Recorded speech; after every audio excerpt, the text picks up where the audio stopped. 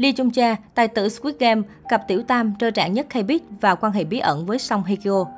Thời gian gần đây, Squid Game, trò chơi con mực, trở thành siêu phẩm đại náo khắp ngõ ngách Hàn Quốc cho đến tận hàng loạt nước châu Á với sức nóng quá khủng khiếp, trong đó đặc biệt có Việt Nam. Chính vì vậy, đời tư dàn diễn viên chính của phim cũng thu hút sự chú ý lớn từ công chúng và được lùng sục vô cùng gắt gao. Đặc biệt, chuyện tình ồn ào của nam diễn viên chính kim tài tử hạng A Lee Chung Cha được dân tình đào bới suốt nhiều ngày qua. Hiện tại Lee Jung Jae vẫn khiến showbiz châu Á chú ý nhờ chuyện tình hạnh phúc bên con dâu cũ quyền lực giàu có của đế chế Samsung Im Seron.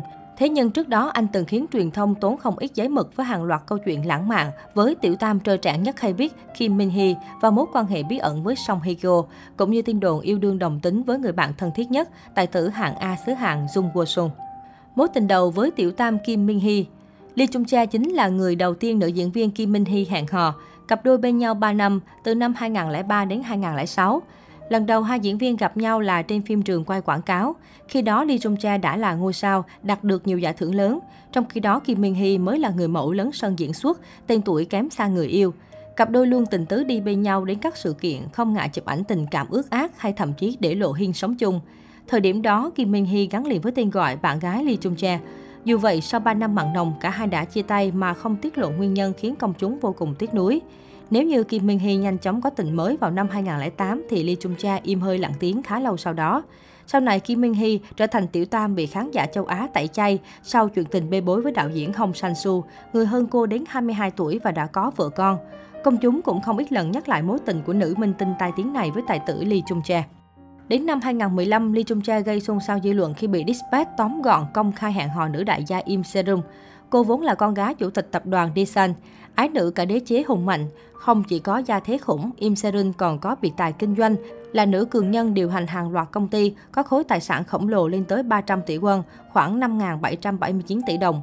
Được biết, Im Serin từng kết hôn với thái tử Samsung Lee Chae-yong vào năm 1998, có với nhau hai đứa con trước khi ly hôn vào năm 2009. Sau khi ly hôn, Im Serin chính thức đến với Lee Chung Cha. Trước đó cả hai vốn là bạn bè lâu năm. Dù vậy cũng có tin đồn rằng cặp đôi đã qua lại với nhau từ trước đó. Ngay sau khi bị Dispatch khui chuyện hàng hò, Lee Chung Jae liên tục vướng phải tin đồn đào mỏ Im Serin khi nữ đại gia này nắm trong tay khối tài sản lên tới 300 tỷ won, khoảng 5.779 tỷ đồng. Là tài tử sở hữu gương mặt cực phẩm, việc Lee Chung Jae đến bên một người phụ nữ từng ly hôn và có hai con khiến nhiều người bất ngờ. Cũng vì khối tài sản quá khủng của người tình, tài tử thử thách thần chết bị nghi đến bên nữ đại gia chỉ để đào mỏ ăn bám. Những thị phi cứ thế bủa vây xung quanh mối quan hệ của cặp đôi.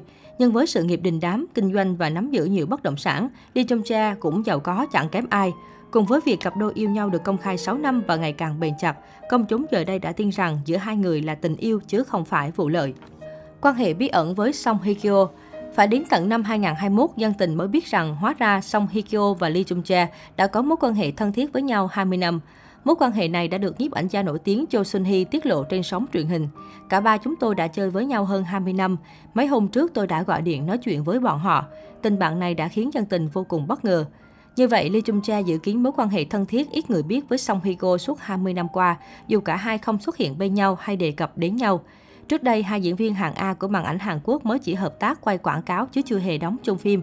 Lee Jung Jae cũng là khách mời trong đám cưới thế kỷ của Song Joong Ki, Song Hye Kyo diễn ra vào năm 2017. Khi Song Hye Kyo đang quay phim Now We Are Breaking Up, Lee Jung Jae đã gửi xe cà phê và được mỹ nhân đình đám gọi là Oppa ngọt xớt. Tiên đồn yêu đồng giới với Jung Woo Song Jung Woo Sung, Lee Chung Jae là đôi bạn thân quyền lực đình đám của K-Big. Thế nhưng vì quá thân nhau nên hai tài tử đã vướng tin đồn yêu đương đồng tính. Có cùng độ tuổi, cùng là người mẫu trước khi chuyển sang diễn xuất, hai tài tử nhanh chóng thân thiết sau khi cùng đóng phim City of the Sun vào năm 1999. Dù từng thẳng thắn phủ nhận tin đồn hẹn hò đồng tính, nhưng độ thân thiết của bộ đôi vẫn khiến netizen bất ngờ, thậm chí còn được cho là thân hơn cả người yêu. Trên truyền hình, Lee Jun Chae hé lộ tình bạn thân thiết của họ. Chúng tôi luôn tôn trọng nhau và đến giờ vẫn dùng kính ngữ để nói chuyện với nhau. Chúng tôi cũng quan tâm chu đáo đến nhau nữa. Chúng tôi gặp nhau 7 lần một tuần. Cậu ấy thận trọng, còn tôi lại liều lĩnh.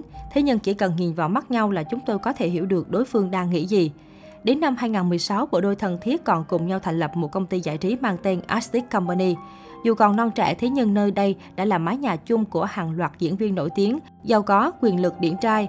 Không nói quá khi Lee Jung Jae và Jung Woo Sung là bộ đôi quý ông hàng đầu showbiz hiện nay. Ở độ tuổi chạm ngưỡng 50, Lee Chung Jae vẫn giữ phong độ đỉnh cao về ngoại hình lẫn sự nghiệp. Theo thời gian, nam tài tử ngày càng phong trần, hào hoa và quyến rũ hơn. bom tấn Squid Game lại một lần nữa khẳng định thêm đẳng cấp hạng A của tài tử Lee Chung Jae.